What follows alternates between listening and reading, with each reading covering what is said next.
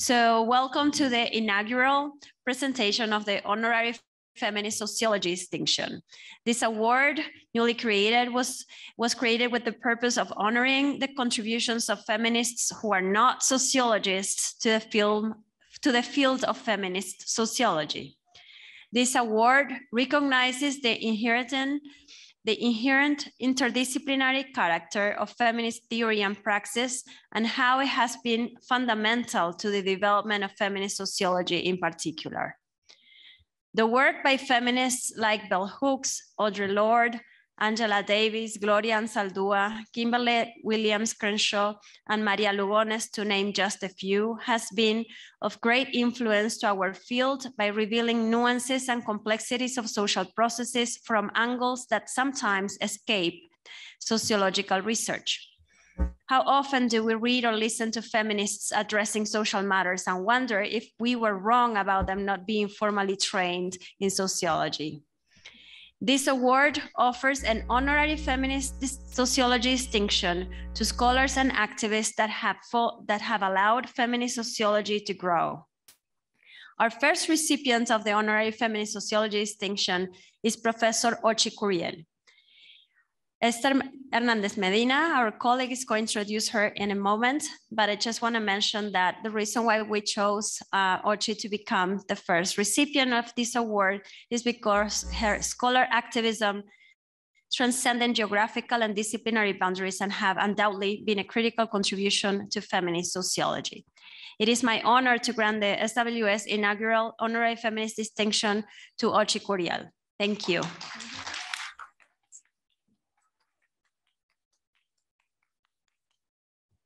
And it is an honor for me to introduce her very, very briefly. Uh, I've been friends with Ochi oh my God, for the longest time. I feel very old now. Uh, since the 1990s. And when I started in feminism, Ochi was already one of the people, one of the feminist activists that I looked up to.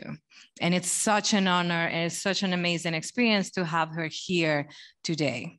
As Roberta mentioned, um, Ochi's work transcends disciplines.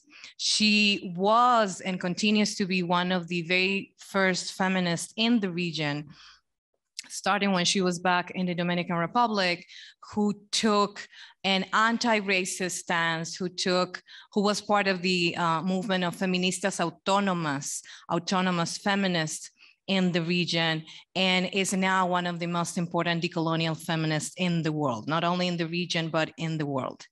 Um, as I mentioned, she's originally from the Dominican Republic. She is a professor and researcher at the Universidad Nacional y de la Universidad Javeriana in Bogotá, Colombia, the National University and the Javeriana University in Colombia. And she's also the co-founder of the Grupo Latinoamericano de Estudios, Formación y Acción Feminista, GLEFAS. She is also a singer and songwriter. She's one of the members and founders of Batucada Feminista in Colombia. Um, and is a member, of course, of the lesbian feminist movement in Latin America and the Caribbean. And because of all these reasons and because of her amazing trajectory and her profound commitment to human rights, it's again an honor to have her here as our first recipient of this incredibly important award. So join me in welcoming Ochi and listening to her talk to us today. Muchas gracias. Eh, bueno, ante todo quisiera decir que estoy un poco indispuesta. Si me ven mi cara, estoy un poco hinchada porque ayer me hicieron una cirugía, pero no quería perderme este espacio. Así que espero que le pongan más atención a mis palabras que a cualquier otra cosa. Eh, bueno, quisiera agradecer esta distinción honorífica que, hace la SWS, en especial a Roberta Villalón, su presidenta, quien me contactó para este premio, y también a Esther Hernández Medina, quien me propuso para participar en esta conferencia, que por el cambio de fecha pues no, no pude asistir. Eh, cuando recibí la nominación, además de complacida, me sentí sorprendida pues no soy socióloga, sino que vengo de trabajo social y la antropología en términos disciplinarios. Este premio es un ejemplo concreto de cómo se manifiesta la trans e interdisciplinariedad, pero sobre todo refleja el impacto que pensadoras y activistas hemos tenido en la academia. Pues es fundamentalmente desde el activismo que he producido el pensamiento por el cual hoy se me reconoce. Me dieron dos opciones para esta presentación, o hablar de mi trayectoria académica activista y lo que yo considero como mis mejores aportes feministas, o elegir un tema que me pareciera relevante para compartir con las sociólogas feministas. Opté por lo primero, no tanto por una actitud narcisista, sino más bien, como hemos sostenido desde el feminismo negro, porque la experiencia es una fuente del conocimiento. Es desde esa experiencia que voy a destacar lo que creo son mis aportes más importantes al feminismo, que nunca han sido individuales, sino colectivos, y es lo que quiero compartir con las sociólogas feministas. Decirles que nací en República Dominicana, en el Caribe, un país que comparte con Haití la isla, llamada por Cristóbal Colón como la española, pero que sus primeros pobladores llamaron Babeque y Haití. Esta isla fue el primer laboratorio de la colonización llevada a cabo por los europeos que se extendió al resto de las Américas. Este hecho marcó mi vida y mi conciencia política, lo que explicaré con más detalle más adelante. Nací en la ciudad de Santiago, en una familia clase media baja, hija de una maestra del liceo público y un padre maestro de música, también de una institución pública, quienes con mucho esfuerzo lograron que yo, con mis dos hermanas y mi hermano, llegáramos a la universidad. Gracias al ejemplo de mi madre y a mi familia materna, tuve conciencia de mi negritud en un país donde ésta se niega todos los días. Mi formación académica era central en mi vida y lo fue también la música. Desde muy pequeña compuse canciones, toqué varios instrumentos y ofrecí recitales y conciertos, no solo en República Dominicana, sino en varios continentes. Estos hechos fueron marcando mi vida política y también mis prioridades académicas. Desde muy joven me articulé en la ciudad donde nací y me crié al movimiento de mujeres en ese movimiento fui una artista orgánica. En aquellos tiempos, década de los ochentas, componía temas en relación a la mujer, así en singular. En los años 90 migré hacia Santo Domingo, la capital. Allí me conecté con tres movimientos claves para mi pensamiento y para mi vida. El feminismo, el arte alternativo y el movimiento de mujeres negras. Por aquella época la efervescencia feminista estaba a la orden del día y yo era una activista clave en las marchas, en las discusiones, en las articulaciones. Y fue en ese contexto que fui iniciadora, junto con otras, del primer grupo en República Dominicana de mujeres negras interesadas en abordar el racismo y el sexismo como una reivindicación política, quienes constituimos la Casa por la Identidad de las Mujeres Negras a la que luego llamamos Casa por la Identidad de las Mujeres Afros. Fue una de las experiencias pioneras en la región. En este sentido, además de ser las responsables principales de organizar el primer encuentro latinoamericano y caribeño de mujeres negras y de impulsar la red de mujeres afrolatinas y afrocaribeñas e ir formando lo que en algún momento denominamos movimiento de mujeres negras. Desde esa experiencia visibilizamos el racismo en el feminismo y también en la sociedad dominicana que, por la ideología del mestizaje, nos hizo negar la negritud, a pesar de estar en el Caribe donde la mayoría somos afrodescendientes. Nosotras, conjuntamente con las afrobrasileñas, ya desde esa época, comenzamos a articular la necesidad de abordar una política imbricada, o como muchas le llaman hoy, interseccional, no solo basada en el género, sino también en la raza y la clase. Es decir, si bien por la geopolítica se reconocen más los aportes de las afroamericanas, nosotras en República Dominicana, desde la experiencia caribeña, estábamos ya haciendo grandes aportes en cuestionar un feminismo cuyo sujeto de la política era la mujer y que fue desde su nacimiento en ese contexto racista y clasista. Este primer momento siempre fue acompañado de producciones musicales, que junto a otros y otras artistas alternativos construimos para rescatar una identidad negra negada históricamente. Desde el arte logramos articular pensamiento y acción política para denunciar el racismo y al mismo tiempo dignificar nuestra identidad negra. En ese contexto también me hice lesbiana feminista. Si bien desde muy joven me gustaron las mujeres, politicé el deseo. Asumí que ser lesbiana que desea y se acuesta con mujeres es en sí un acto político transgresor de frente a la heterosexualidad obligatoria. Sin embargo, por muchos años lo había asumido solo como una identidad. A partir de los aportes teóricos del lesbianismo feminista, comprendí que la heterosexualidad es un régimen político que trasciende las experiencias sexuales, aunque las incluya. Se trata de un régimen que actúa en todas las relaciones sociales y que tiene que ver con los efectos del colonialismo y la modernidad occidental, en la nuclearización de la familia, en las concepciones y expectativas que se tienen en torno a lo que debe ser una mujer y un hombre, en el binarismo sexual que sustenta la ideología de la diferencia sexual, en la apropiación y explotación de los cuerpos y fuerzas de trabajo de las mujeres, sean o no estas lesbianas, y más aún en aquellas que son racializadas como negras y como indígenas. Desde estos análisis comencé a entender la relación entre racismo, sexismo y clasismo con el régimen del heterosexual como parte de la modernidad occidental. Esto creo yo ha sido también un aporte clave, el cual fui sistematizando en varios de mis artículos y particularmente en mi libro La Nación Heterosexual, publicado en el 2013.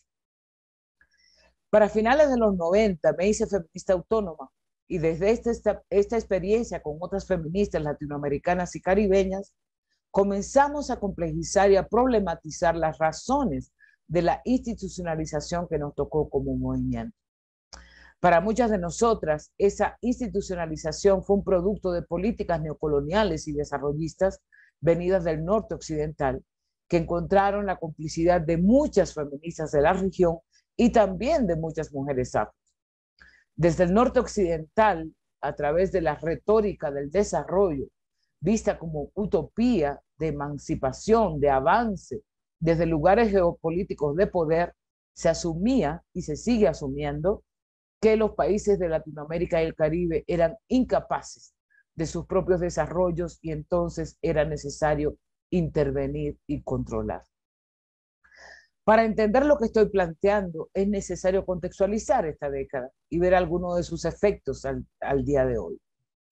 La década de los 90 marcó el fortalecimiento del neoliberalismo que colocó el mercado y la economía como centros de la vida social y el capital financiero como centro del mercado a nivel transnacional a través de implementar lo que se llamó el ajuste estructural.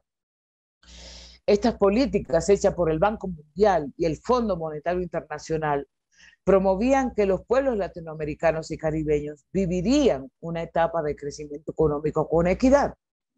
Pero la realidad fue muy distinta.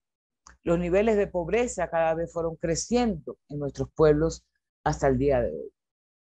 En esta década también la democracia se convirtió en un mecanismo de selección de gobernantes que administran el sistema político con criterios de mercado, al tiempo que se abren procesos para la participación ciudadana. A la par de este endurecimiento económico derivado de la doctrina neoliberal e impuesto por medio de los planes de ajuste estructural, hay cierto ablandamiento político, es decir, una reorganización de los equilibrios entre la política y la economía. Es en este contexto que se sitúan las conferencias mundiales de la ONU y sus políticas dirigidas a la participación ciudadana. Se debía promover una supuesta participación ciudadana para limitar las acciones de protestas en la región y para lograr cierta estabilidad política para garantizar la entrada perfecta del neoliberalismo. Así, muchos y muchas creyeron que participando en las conferencias mundiales de la ONU, a través de sus necesarias redes representativas, era la manera de incidir en los gobiernos para promover ciertas políticas sociales con equidad. Para muchos movimientos, como el feminista, como también el de mujeres afro, entre otros, esto generó más dependencia económica, ideológica y política de la ONU y de la cooperación internacional al desarrollo venida del norte. Por tanto, generó menos autonomía, mayor burocratización y jerarquización por parte de la mayoría de los movimientos sociales. Para esa misma época hay un auge de lo que se llamó el multiculturalismo como política de Estado. Si bien en parte también fue resultado de muchas luchas de movimientos indígenas y negros en la región que cuestionaron la nación homogénea con base a la ideología del mestizaje, que invisibilizaban sujetos como los afros e indígenas que antes no estaban considerados como parte de la nación y que luego son incluidos a través del reconocimiento cultural desde los estados, pero este multiculturalismo era y sigue siendo profundamente liberal. Si bien en muchas constituciones hubo un reconocimiento de la diversidad cultural, pasando a naciones pluriétnicas y pluriculturales, la realidad material y política de la mayoría de los pueblos indígenas y negros no ha cambiado mucho. Hoy las desigualdades sociales, políticas y culturales de estos pueblos son evidentes. Como feminista autónoma propuse, junto con otras, la necesidad de la autonomía ideológica, financiera, política de las instituciones multilaterales, de la cooperación internacional y de los estados. Así creamos una corriente que hizo y sigue haciendo práctica y pensamiento feminista desde la autonomía cuestión que será clave para el feminismo decolonial desde el cual me posiciono hoy. Esta, este feminismo decolonial, esta corriente, es un punto de inflexión en toda la región latinoamericana y caribeña, a tal punto que dividió, eh, perdón, el, feminismo autónomo, a tal punto que dividió eh, el movimiento en dos grandes tendencias, las autónomas y las institucionales. Pero dentro de las autónomas nos veíamos como grupo homogéneo, sin problematizar incluso las posibilidades reales y materiales de muchas autónomas que eran afrodescendientes e indígenas. Fue por ello que insistí, junto con otras, que no era posible entender la autonomía frente a estas políticas neoliberales sin abordar el racismo y el clasismo. Desde allí, la autonomía como propuesta política y teórica se hizo más compleja.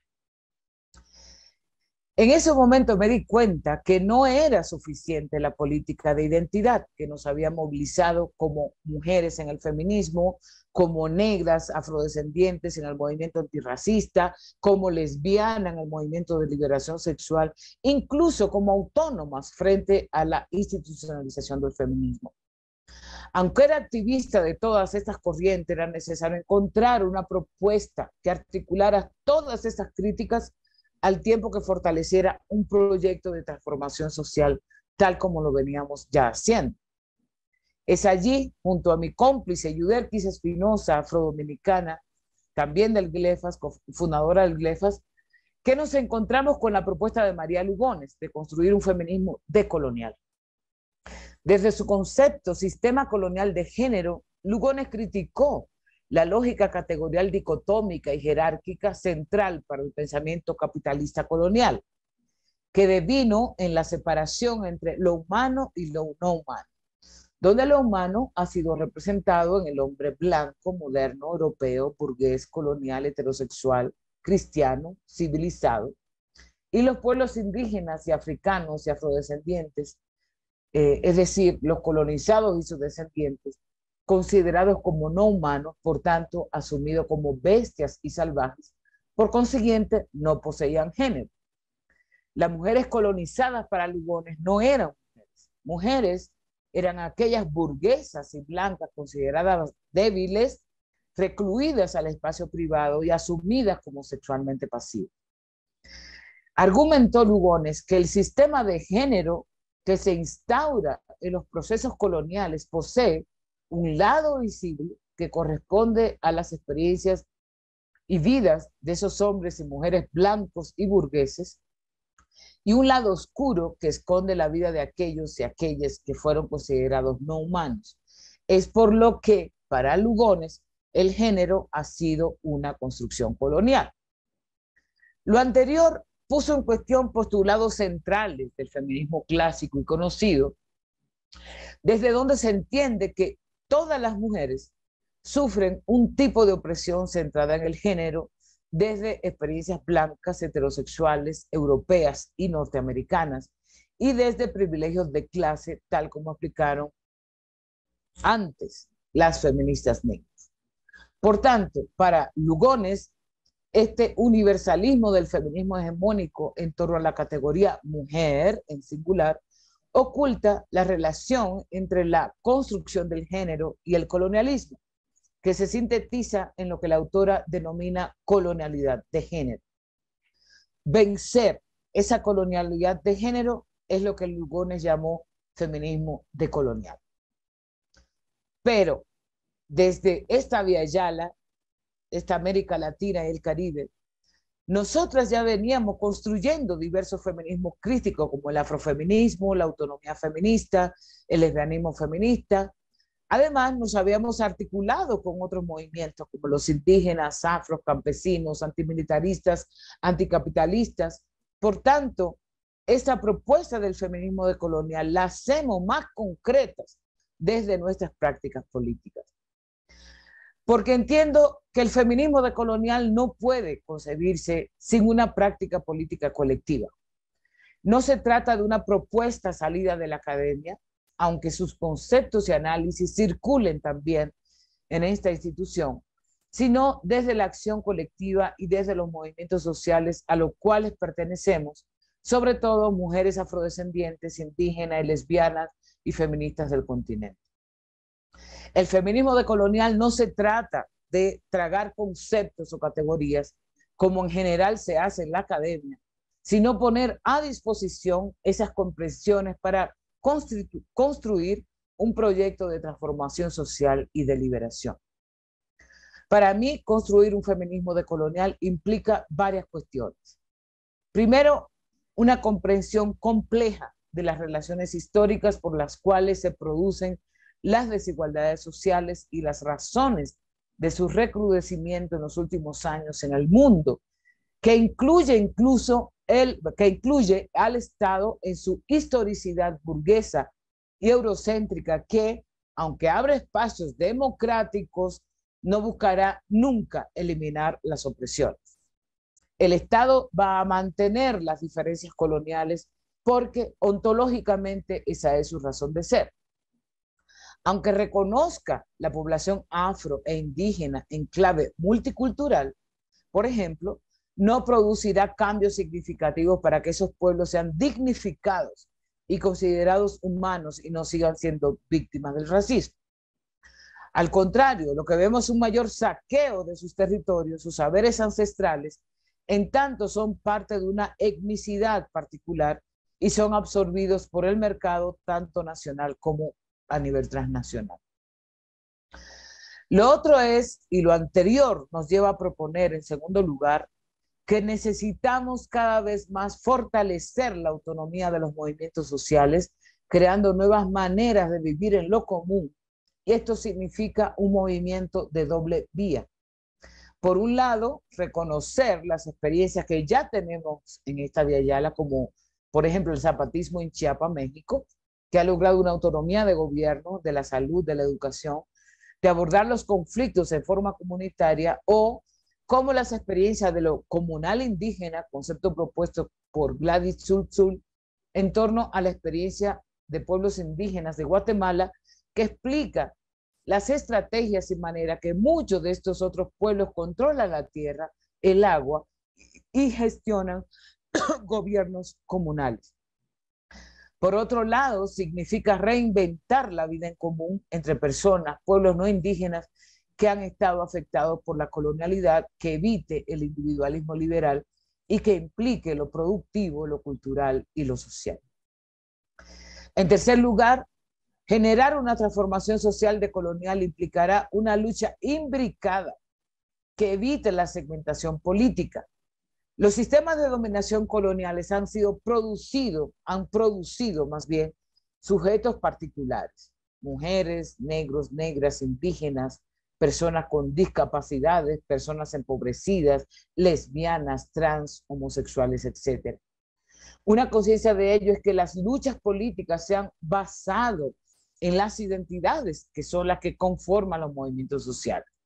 Movimientos afros, indígenas, de mujeres, lesbianas, trans, LGTB, y etc. Tal como el sistema moderno colonial nos produjo. Estas identidades y diferencias, aunque son importantes para posicionarnos y para construir coaliciones, no pueden ser el centro de nuestra política. Es necesario consolidar un proyecto común que esté comprometido con una lucha por eliminar todos los sistemas de dominación construidos por múltiples sujetos que hemos estado afectados por la colonialidad. Porque el sujeto de la política feminista de colonial no son las mujeres, sino sujetos múltiples. Así, para las feministas, las luchas antirracistas y en contra del despojo tienen que ser una prioridad. Así como para los movimientos indígenas y afro, la lucha contra el heterosexismo también debe ser una prioridad. En cuarto lugar, debemos fomentar y fortalecer procesos de descolonización del saber. En las universidades debemos hacer disputas políticas para que los conocimientos que vienen de nuestros pueblos, de nuestras comunidades, de gente racializada, sean legitimados. Estos sujetos no pueden seguir siendo los objetos de estudio de las y les académicos con privilegios de raza, clase y capital social. Es lo que he llamado la antropología de la dominación hay que etnografiar, por un lado, primero las élites de poder y analizar su responsabilidad en el sostenimiento de las desigualdades sociales. Pero además, necesitamos, quienes no tenemos privilegios de raza, clase, etcétera, hacer nuestras propias investigaciones para nuestros movimientos sociales y para nuestros proyectos políticos. Es lo que he, denominado la autoinvestigación decolonial. Por otro lado, considero que debemos generar procesos formativos fuera de la academia que devalúen las universidades como centro por excelencia de la colonialidad del saber. En ese sentido, la transformación social en clave feminista de colonial propone cambios profundos, no simples reformas que se adaptan a las negociaciones coyunturales, implica darle lugar a una ética de la vida que recupere la colectividad y lo común para un desenganche de todo el síndrome colonial que nos afecta hasta hoy día. Muchas gracias. Muchas gracias. Thank you. Um, we're switching. Muchas gracias, Ochi. Realmente no hay duda que te mereces el premio honorario de socióloga. There's really no doubt she deserves to be an honorary sociologist, right? Uh, the analysis is uncomparable, like it's so good. Anyways, I'm opening the floor for questions. I'm also monitoring the chat and the Q&A virtually.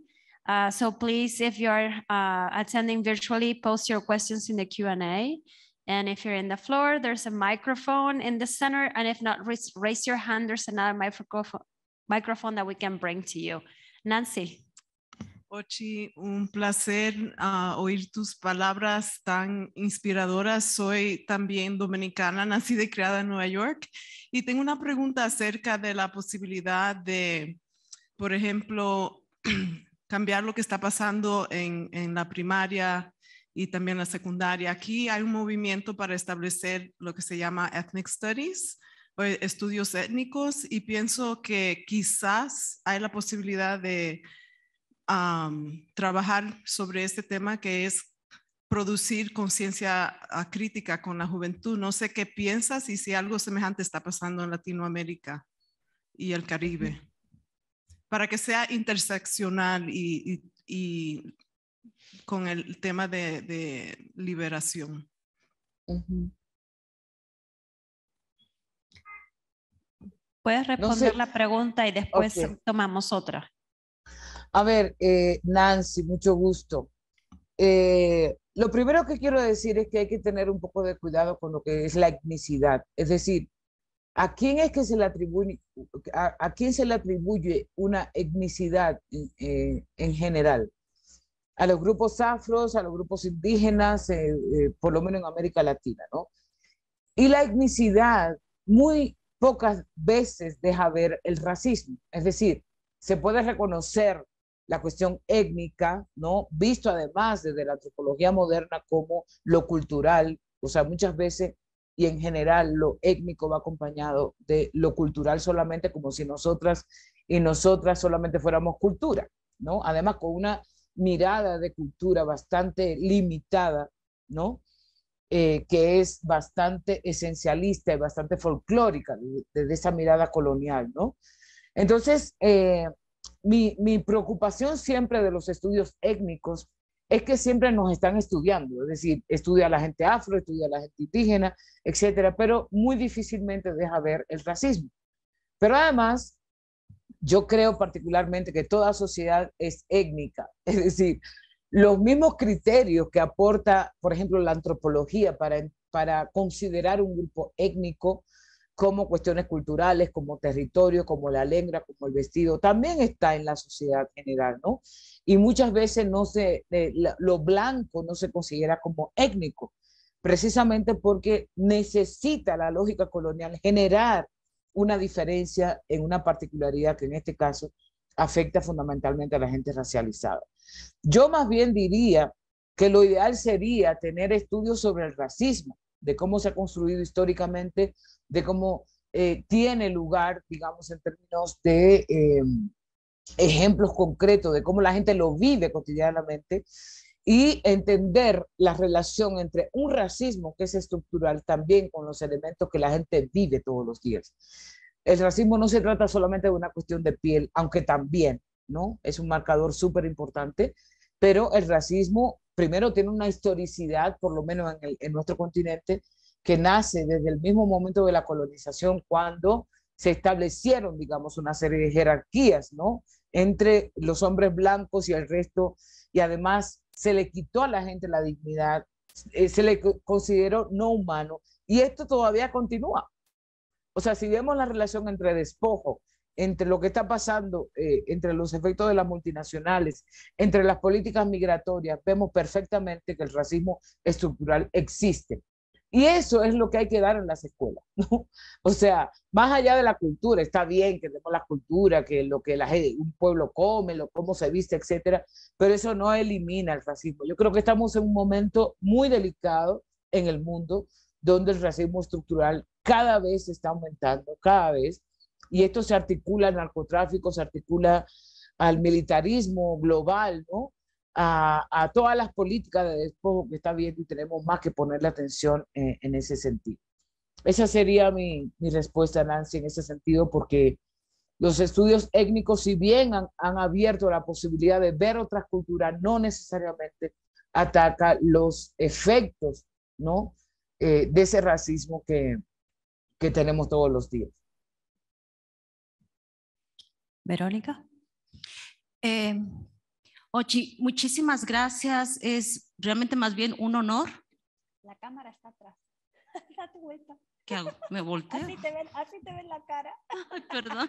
Bueno, o sea, es muy raro porque ahora no la voy. Anyways, Ochi. ¿Qué cosa?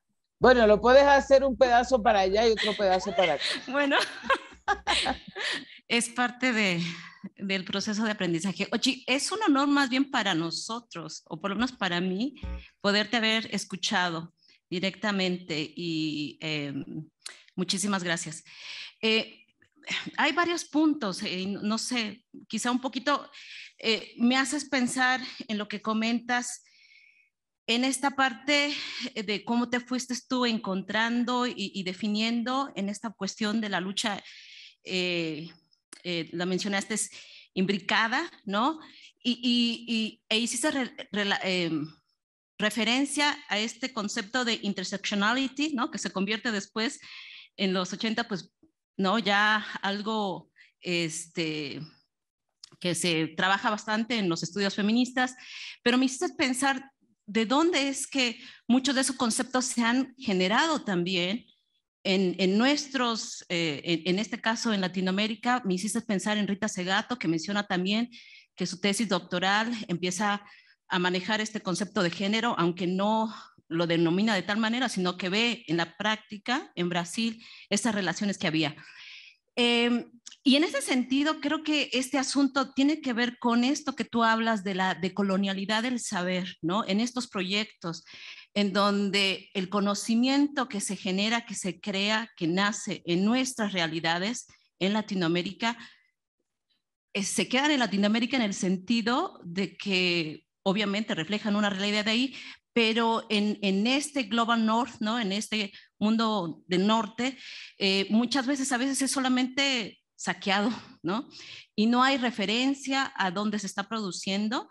Entonces, en ese sentido, me gustaría hacerte una pregunta. Yo soy mexicana, emigrada aquí a Estados Unidos, expulsada de, de, de mi país por la situación que mencionas, neoliberal.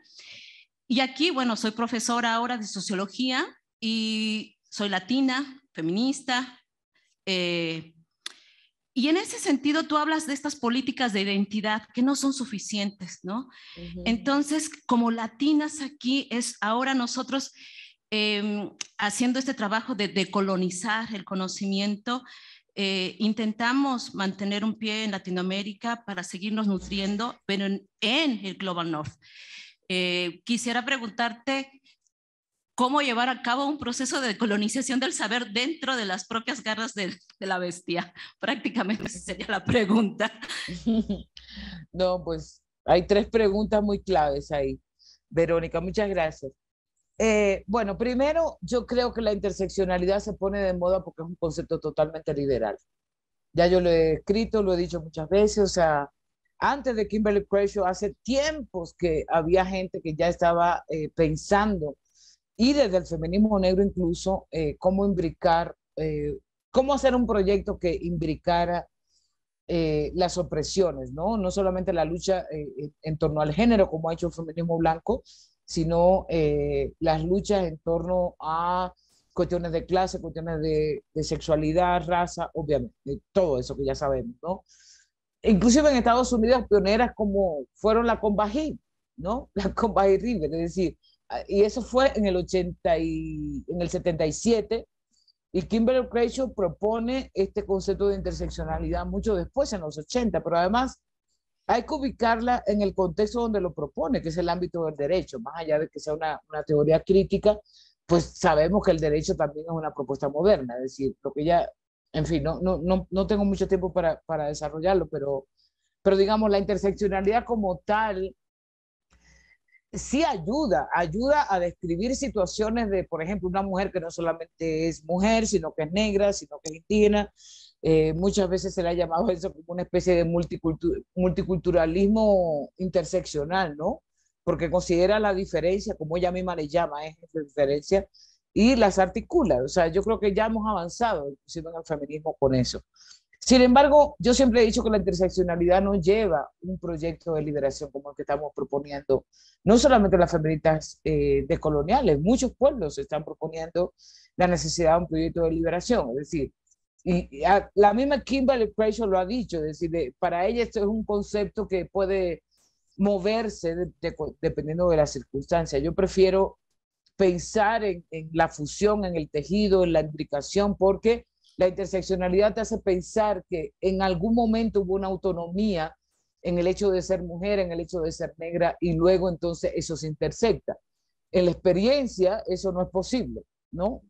Separar eso. Eh, eso por ese lado. Por tanto, yo nunca hablo de interseccionalidad porque no me gusta, por lo menos para mi proyecto político, eh, este concepto. Lo otro es que eh, la pregunta que nos tendríamos que hacer es si es posible descolonizar la universidad. Yo siempre digo que todas las instituciones coloniales, y la universidad es una de ellas, ¿no? La academia es una de ellas, como el Estado es una de ellas, lo que podemos hacer es fundamentalmente disputas. O sea, en el, eh, desde el Estado no se descoloniza absolutamente nada, como tampoco en la universidad se descoloniza nada, porque la ontología académica es parte de la colonialidad del saber. Es decir, que la academia sea el centro de producción del conocimiento, que además ustedes como yo, que estamos en la academia, sabemos que hay un performance de cómo tú tienes que producir ese conocimiento, con cuál tipo de citación, qué tipo de, eh, qué tipo de conocimiento, digamos, se legitiman, eh, la forma de publicar, que tiene que ser, por lo menos en este caso, traducida al inglés para que sea más reconocida, ¿no? Y la disputa que podemos hacer ahí es en contra de eso, ¿no? Pero la estructura de la academia no varía. Es decir, eh, estas jerarquías que hay en la academia, de que hay un rector, etcétera, etcétera, ¿no? Eh, de cuál es el lugar que ocupamos las y los profesores, eh, de cuál es el lugar que ocupan los administrativos, eso no va a cambiar porque eso es, es ontológicamente parte de la universidad. Y esto se, se, todavía se complejiza más con la privatización, es decir, universidad, y lo digo por la propia universidad en la que yo estoy, es decir, por eso estamos luchando contra la universidad pública, eh, por la universidad pública, ¿no? Porque se está privatizando el derecho a la educación, pero yo particularmente estoy consciente de que ahí yo hago disputas que pueden generar movimiento para procesos descolonizadores, pero la descolonización se hace fuera de ahí. Estoy convencida, por lo menos hasta ahora, ¿no? Eh, y a lo que, eh, en relación a tu pregunta, es en ese, en ese campo de disputa que sí podemos hacer lo que muchas estamos haciendo, meter los conocimientos que no se legitiman, por ejemplo, el feminismo negro, el feminismo, eh, las feministas indígenas, los pueblos indígenas, aunque no se llaman feministas, ya al día de hoy eso es lo que menos me importa, sino que están proponiendo, digamos, una, un proyecto de vida en común, además, ¿no? Eh, y eso es lo que podemos hacer ahí. Lo hacemos y yo creo que hay que seguirlo haciendo porque yo creo que la lógica eurocéntrica, euronorcéntrica todavía se sigue imponiendo. En relación a la política de identidad, yo siempre he dicho, la política de identidad es una estrategia, no puede ser el fin, ¿entiende? O sea, por supuesto que yo me reivindico como lesbiana feminista, pero eso es, yo lo que quiero es acabar con el, el régimen de la heterosexualidad, ¿no? me sirve llamarme lesbiana feminista como un posicionamiento político. Por eso, como hacen la mayoría de los movimientos sociales, de sentirse orgullosos de ser lesbiana, sí, ok, yo estoy orgullosa de ser lesbiana, por eso no me basta para un proyecto de transformación. Lo mismo puedo decir para la negritud. Por supuesto que yo estoy orgullosa de ser afrodescendiente, de, e, en, un, en un país donde yo nací, me crié, ¿no? que la niega todos los días y, y parte de recobrar la dignidad es reconocerme en esa, en esa afrodescendencia. Pero eso no es suficiente. O sea, una cosa que yo me diga que estoy orgullosa de ser afrodescendiente. Y, al, y, y, lo más importante para mí es acabar con el racismo, que obviamente hace negar la afrodescendencia. Por eso yo, mi preocupación es que tenemos muchos años ya en los movimientos sociales pensando que la política que tenemos que hacer es la política identitaria como el fin y no puede ser, no puede ser después de tanto, tanto feminismo, después de tanto antirracismo. Yo creo que es necesario, y más con este monstruo del mundo que tenemos en este momento, redefinir, digamos, proyectos políticos que realmente acaben con los sistemas de opresión. Y eso no solamente son las mujeres. Esa pregunta de si, si los hombres pueden ser feministas, por supuesto, ojalá que lo sean. Que si los blancos pueden ser antirracistas, por supuesto, ojalá que lo sean. Obviamente eso es un proceso largo, un proceso que va a llevar tensiones, como, pero yo creo que tenemos que hacer coaliciones que necesariamente pues acaben con la matriz completa de, de, la matriz de poder completa, que es de raza, que es de clase, que es de geopolítica, que es de nacionalidad. Y en eso estamos nosotras luchando, las, las feministas decoloniales que estamos en el terreno, porque esa es otra. A propósito de lo que tú decías, Verónica, el feminismo decolonial ahora se ha puesto de moda, ¿no? y, ya se está cooptando y la gente cree que hacer feminismo de colonial en la... O sea, yo, yo llevo los conceptos del feminismo de colonial y, la, y las discusiones del feminismo de colonial en la academia, por supuesto, pero ahí no se hace feminismo de colonial. La práctica política colectiva es lo fundamental para hacer feminismo de colonial, tal como yo lo decía, ¿no? Hablaré espaldas a, a, Roberta y mirando a Ochi. Ochi, muchísimas gracias. Eh, muy, estoy inspiradísima. Eh, y, y, contenta de poder estar aquí y haberte escuchado. Mi, mi pregunta es eh, bastante simple. Acá hablaste de las mujeres racializadas en América Latina, las mujeres afrodescendientes, las mujeres indígenas. Nosotras aquí estamos en Estados Unidos como mujeres también racializadas como latinas. Y me gustaría saber eh, cómo podemos unirnos o si podemos unirnos a la lucha. O sea, personalmente yo pienso que sí, pero me gustaría saber tu opinión de cómo nos ven a estas latinas que estamos aquí eh, racializadas en Estados Unidos y mm, si podemos ser parte de este feminismo autónomo y eh, básicamente eso. Gracias. A ver, eh, yo creo que no es suficiente con ser mujer racializada y ser latina.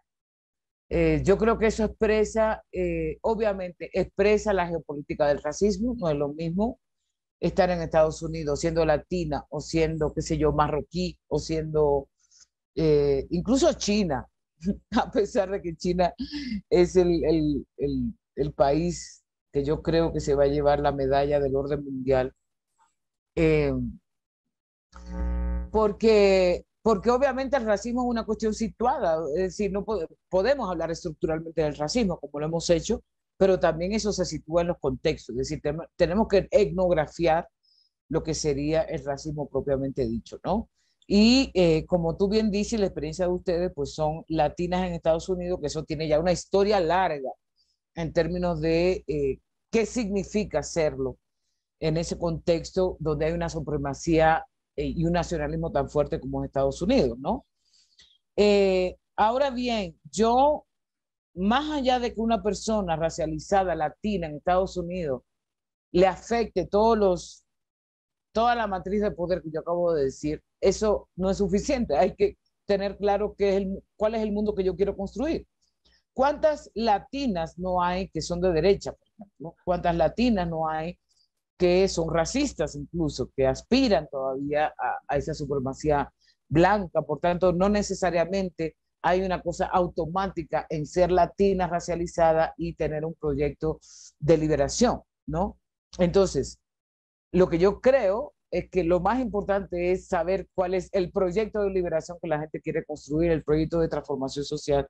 Y ahí sí, entonces, como, como eh, digamos, compañeras latinas o compañeros también, o sea, el pueblo latino en Estados Unidos, porque como yo dije, yo creo que ya este feminismo eh, el que nosotros pensamos no puede solamente empezar en las mujeres, ¿no? Yo creo que tenemos que empezar en términos de comunidades y pueblos. Entonces, eh, pues es una decisión eh, ser parte, o sea, tener un proyecto de liberación que sea autónomo, que sea decolonial, que sea antinacionalista, es una posición que aunque es personal, pues obviamente se articula a un proyecto mucho más colectivo. Entonces, Ahí yo no te puedo decir, no tengo ninguna receta de qué es lo que hay que hacer. Solamente decirte que lo que hay que hacer es tomar una decisión sobre, sobre si lo quiero hacer o no y cómo lo quiero hacer en este caso, ¿no? Hola, ¿cómo está? ¿Cómo le va? Hola. Sí me, sí me conoces, Ochi. Ay, sí, te conozco. ¿Qué tal? ¿Cómo vas? Muy bien, muy bien. Muy lindo escucharte. Bueno, sabes que tenemos mucha, mucha coincidencia, ¿sí? Eh, entonces, no quiero como estar demasiado en la coincidencia, sino en, en, en preguntar sobre alguna especificidad, sobre todo por esta cuestión de las diferentes genealogías que coexisten respecto al trabajo que ha hecho posible, que hace posible una noción práctica social como la de interseccionalidad. Sí, y entiendo, sí, entiendo. Sí, yo aprendí con, con María Lugones que, claro, tiene ciertas vistas liberales, pero también por una cuestión de memoria, sí, porque a mí una cosa que me preocupa es que nos volvemos desmemoriadas, desmemoriadas y desmemoriados. Y bueno, sí, la gente que está hoy en el territorio en, de, la, de la marea verde a los 15, 16, 17 años, o que está haciendo trabajo en, grassroots, ¿no es cierto? trabajo de base aquí en este país, en comunidades de color, em, alrededor de, en contra del racismo ambiental, en contra del sistema carcelario, carcelario y cuando escuchan, ¿sí?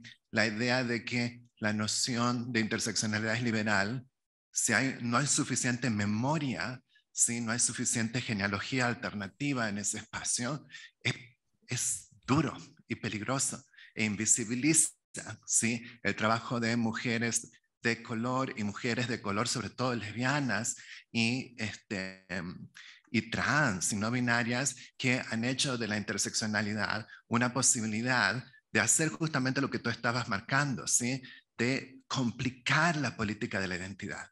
Porque la interseccionalidad es un marco, sí, que permite un marco que emerge de eh, la tradición intelectual eh, negra y que a la vez marca lo que se puede y lo que no se puede ver. Entonces, lo que no se puede ver tiene que ver con esto que tú hablas de, bueno, el sujeto liberal nunca podrá, podrá tocar la experiencia de la que hablaba Fanon o de la que habla Evelyn Hammonds en, en ese maravilloso artículo sobre los agujeros negros y la física, ¿sí?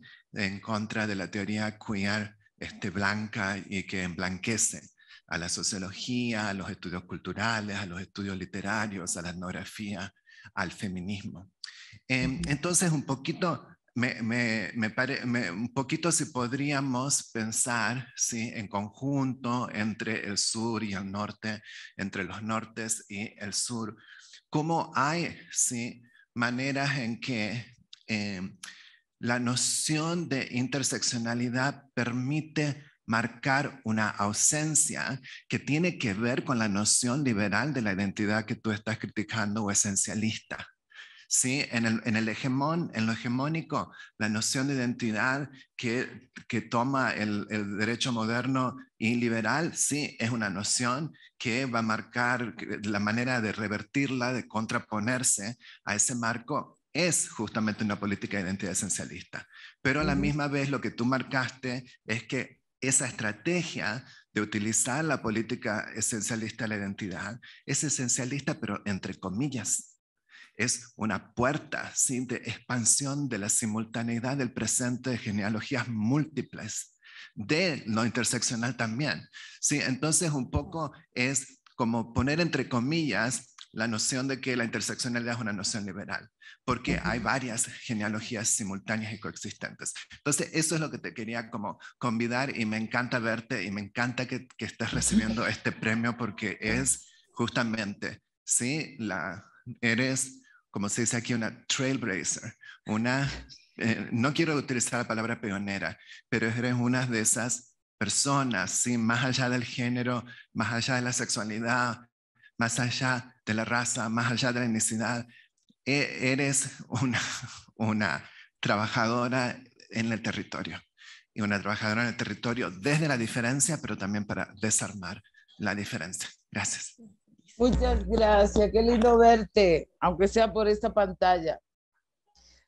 A ver, eh, yo no estoy, no creo que te, no esté reconociendo genealogías, al contrario, yo creo que la, la, la genealogía que falta eh, cuando se habla mucho de la interseccionalidad, es que mucho antes de Kimberly Crenshaw, hace tiempos, de manera mucho más compleja, ya otras compañeras lo estaban diciendo. Y yo siempre, ah, yo siempre digo lo siguiente, mira, y, bueno, tú lo sabes, ¿no? Con Bají, eh, la misma Patricia Hill Collins en Estados Unidos, es decir, ya hablaban de, de una cuestión mucho más compleja que no es no es lo que Kimberly Crenshaw trae, que yo la entiendo, digamos, en el ámbito del derecho, traer eh, eh, eso, eso que tú dices, eso que no se ve, sobre todo en la ley, ¿no? Y la ley es liberal, el derecho, por más crítica que le tengamos al derecho, es una propuesta liberal, ¿no?